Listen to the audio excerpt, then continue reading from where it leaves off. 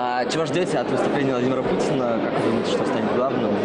А, Я надеюсь, что главным будет, как обычно, все-таки экономический вопрос. Очень хотелось бы а, услышать, какая стратегия с точки зрения государства в области экономических вопросов. Экономическая ситуация не самая благожелательная, а, и, безусловно, на нее наслаиваются и политические факторы. И мне кажется, экономика должна быть таким одним из ключевых приоритетов. Надеюсь, сегодня это и услышу. Ну вот год назад были конкретные решения, дорога Москва-Казань, э, ЦКАД и так далее. Вы же сейчас ждете каких-то тоже конкретных вещей или скорее вопросов Не, меня- экономической политики? Меня интересуют вопросы больше экономической политики, институтов и так далее. Я вообще, в принципе, ну, против каких-то точечных вещей. Я считаю, что государство должно регулировать все-таки принципами, институтами и политикой, а не как бы точечными проектами. Последнее коротко. Как вы считаете, удастся избежать рецессии в этом году? Я очень надеюсь, это было бы очень хорошо. Мы в банковском секторе, а, и, безусловно, наш сектор один из страдающих от таких эффектов, как рецессия, поэтому я бы очень хотел, чтобы этого не было у нас. Вы знаете, это вопрос м, даже не принципиальный. А, Техническая рецессия, повторение во втором квартале того спада, который видели в прошлом, оно вероятно, но я думаю, что вероятность меньше 50%. Не так важно. Важно, сможем ли мы ответить на принципиальные вызовы э, для инвестиционного роста или нет. И опять-таки, дело не в Украине или в чем-то еще. Волатильность такого политического ландшафта, она время от времени происходит. Мы должны найти внутренние э, ответы на наши внутренние вопросы. Чего ждете от выступления Путина?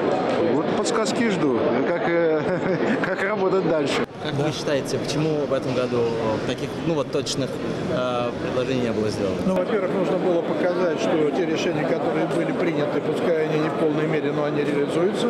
И об этом говорил глава государства. А что касается Москва-Казани, то он просто ждет э, реакции правительства на свое указание, подготовить ему окончательное предложение. Все Вот те предложения, которые есть, они помогут нам от, от, э, не впасть в рецессию именно в этом году, как вы считаете? То есть э, эффект их будет в этом году или все-таки это Я на думаю, следующий год? Я, я рассчитывал, что, может быть, уже в этом году что-то произошло. Спасибо. Как вам речь э, Путина? Чего вы ждали от нее и что услышали? В общем, услышал то, что ожидал. Я видел долгосрочное видение перспектив и нежелание реагировать на текущую ситуацию, выстраивать долгосрочную перспективу развития. Я хотел бы обратить внимание на три момента. Первое – диверсификация российской экономики и в этом плане. То, что сегодня происходит в авиастроении, это шаг в этом направлении. Второе, что важнейшим условием является создание благоприятного инвестиционного климата и долгосрочных инвестиций, которые позволяли бы обеспечить такое развитие. Третий важный момент, что подписанное соглашение с Китаем, с моей точки зрения, меняет не только российско-китайские отношения, а в целом создает благоприятные условия для развития экономики нашей страны. Ну, конечно, все без исключения присутствующие оценивают очень высоко а, те инициативы, которые были названы президентом по улучшению инвестиционного климата.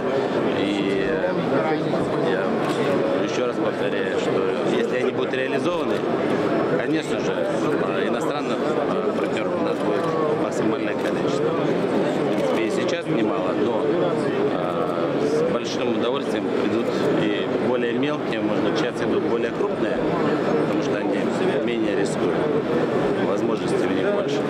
А э, так придут поменьше, средний бизнес. Для нас это очень интересно. А что для нашей страны проекты? Для развития нашей страны, для развития экономики России, что эти проекты дадут инфраструктурно? Вот как, как вы Ну, дело в том, что э, для нас интересно, вот, э, в частности для госкорпорации Ростех, интересно привлечение современных технологий. Даже не очень, не важно, что это будет большой бизнес, это может быть и средний бизнес, но с современными технологиями, те, которые могут быть реализованы у нас. Вот это для нас интересно. И это интересно, в том числе и для российской промышленности. Как вы считаете, предложения президента помогут избежать рецессии в этом году или э, это больше на следующие года даст эффект? Ну, я думаю, что реализовать быстро э, вот эти предложения будет очень сложно. В этом году, конечно, наверное, это вряд ли произойдет, но на будущие годы, конечно. Что, вот, что касается вот наиболее современных технологий, вот этого принципа того, чтобы предприятия, как бы под, государство подталкивали предприятия к этому, как много предприятий рост технологий это может затронуть, как вы считаете, э, как какой эффект это В окажет? принципе, это может затронуть практически все наши предприятия, потому что у нас э, в основном на 90% это предприятия машиностроения. А это вот как раз затрагивает прежде всего эти предприятия. Не, я думаю, что что было для нас, для бизнесменов, самое важное, это были самые последние слова президента. Что мы можем здесь работать, что мы можем здесь заработать, так, и что инвесторы и бизнесмены совсем приемлемы. Вот, я думаю, это было самое главное, это зеленый свет для, для бизнеса и для ев- европейского бизнеса здесь, в, в России. Много говорили, конечно, о политике, об Украине и так далее. Это было это немножко не наша тематика, несмотря что интересно всегда знать все-таки по позицию. Но самое главное, вы знаете, это доверие. Так, э, и я думаю, что здесь эти последние слова, которые он сказал, это было самое главное. Для нас это вот что мы ждали.